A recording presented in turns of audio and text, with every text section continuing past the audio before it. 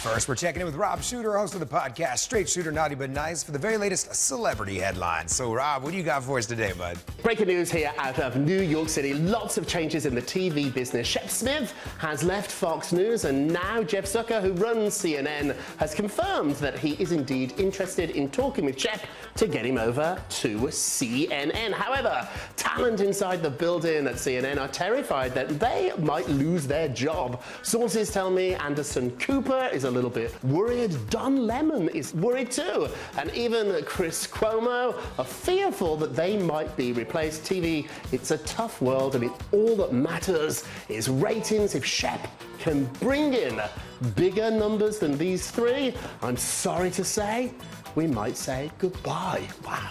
Right, Rob, anything else?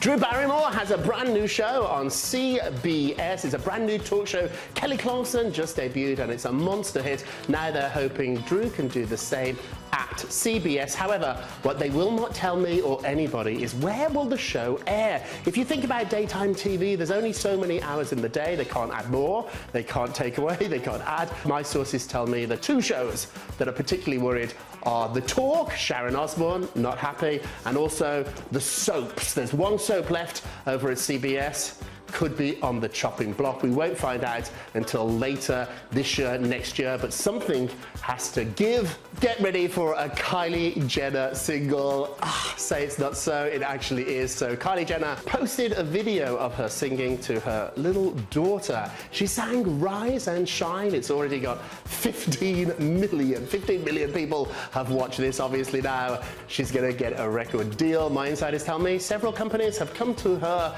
to ask her to record a single Rise and Shine. It's not an album, it's going to be a novelty single. One single, make a lot of money. This will happen, trust me. Coming up later in the show, an exclusive royal item you're not going to hear anywhere else. All right, Rob, as always, thanks so much. We're looking forward to that. Talk to you in a bit. Thanks for watching. Be sure to subscribe to Celebrity Page for Hollywood's hottest headlines daily and head over to celebritypage.com for even more inside access.